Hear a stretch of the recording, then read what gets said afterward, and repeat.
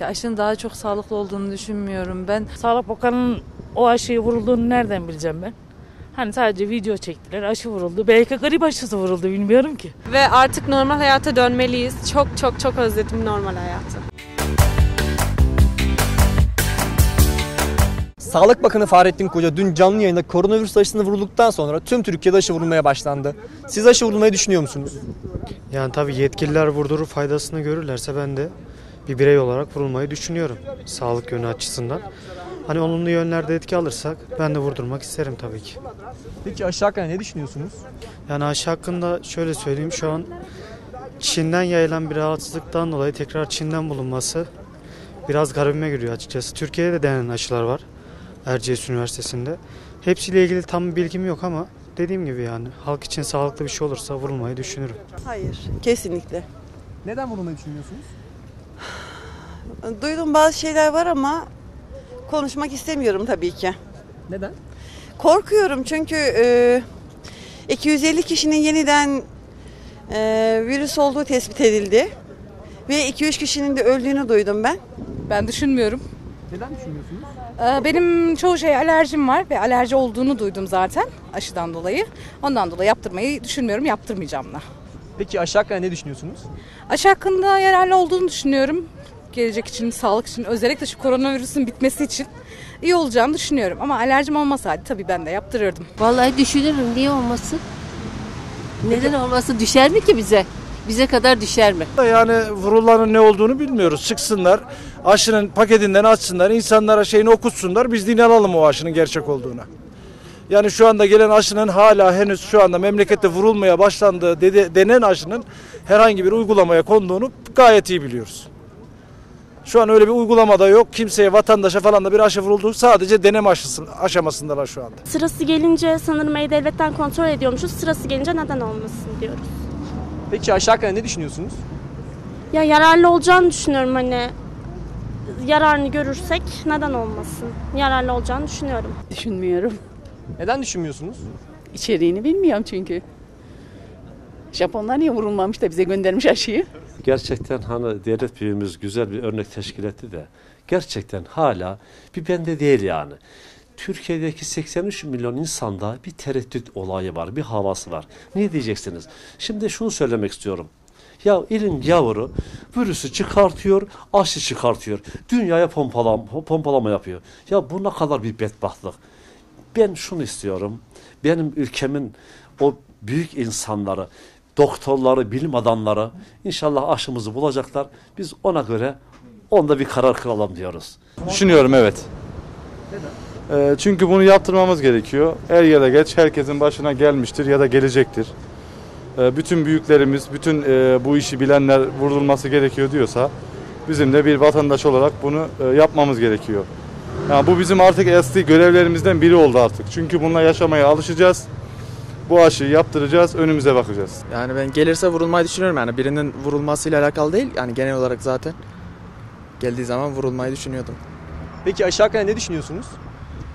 Yani kendi hani şahsen bir fikrim yok ama hani açıklananlara göre etkili olduğu söyleniyor.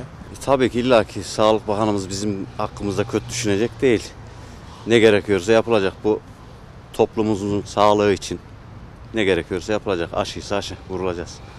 Peki aşı hakkında ne düşünüyorsunuz?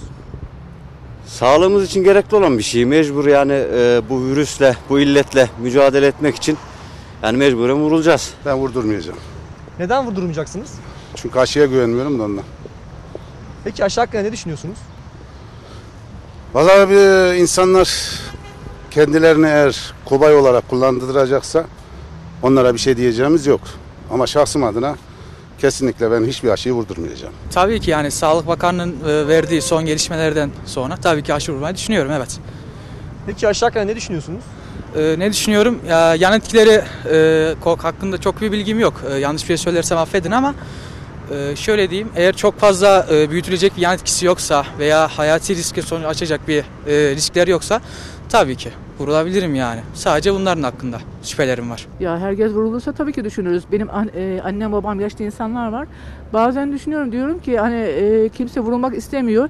Acaba neden vurulmak istemiyor? Hani yaşları sorun mu oluyor diyerek Ben annem babamın vurulmasını istemiyorum mesela. Hani kendim de hani yaşım müsait değil daha zaten. Çok şükür hamdolsun sağlıklı bir insanım. Ama o herkes vurulursa, sağlıklıysa gerçekten aşının yani faydası varsa hepsi vurulsun. Ama aşının faydası yok, yan etkisi varsa neden insanlara yan etki yapsınlar değil mi? Ben ondan karşıyım yani. Çünkü- neden? Hani aşı iki çeşitli. Kimi vurulmak istiyor, kimi vurulmak istemiyor. Kimi de diyor ki yan etki var diyor, vurmak istemiyor diyor. Kimi de diyor ki vurulalım, iyileşelim diyor.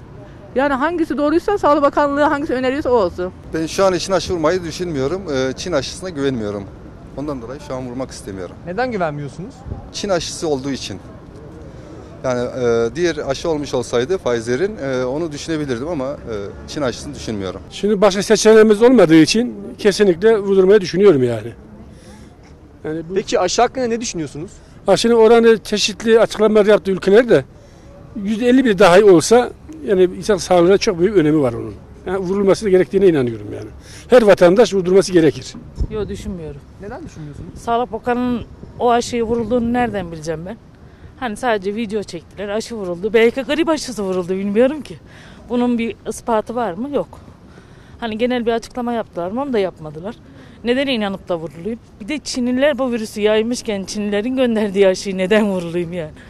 Vurulmayı düşünmüyorum şahsen. Hayır, düşünmüyorum. Neden düşünmüyorsunuz? Ya aşının daha çok sağlıklı olduğunu düşünmüyorum. Ben e, zaten toplum içinde de aşı hakkında iki bölüm oluşmuş. Vurulalım, vurulmayalım, vurunanlar, vurulmayanlar diye kitle halinde.